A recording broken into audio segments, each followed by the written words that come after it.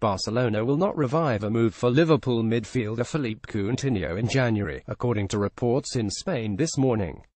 Spanish newspaper Sport, who reported Barcelona interest in Coutinho throughout the summer, claimed that the Catalan Giants will instead concentrate the resources on signing Nice midfield Jean-Michel Seri in the new year. In fact, the Catalan Giants are said to have agreed a £36 million fee for Seri, with a move for Coutinho or PSG's Angel Di Maria on the back burner until next summer.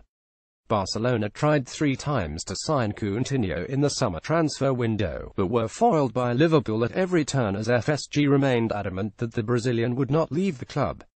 Seri was linked with a move to several Premier League clubs last summer and at one stage even looked as though he would move to Barcelona in August, only for the deal to fall through.